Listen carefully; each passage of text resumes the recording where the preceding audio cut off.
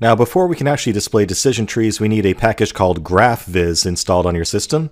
And on the Mac, the easiest way to do that is through Homebrew. So if you don't already have Homebrew installed, go over to brew.sh here. And to install Homebrew, we're just going to copy all of this information here. Command C, go to a terminal prompt, paste it in, Command V, and run that. We'll hit return. You'll need to authenticate.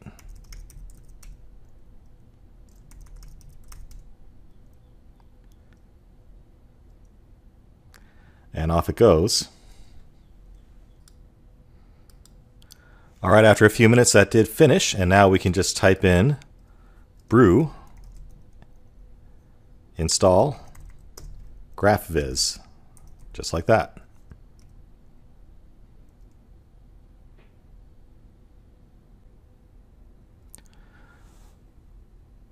All right, looks like we're in business. Let's go ahead and close this terminal window so we can be sure that we uh, pick up the new environment next time.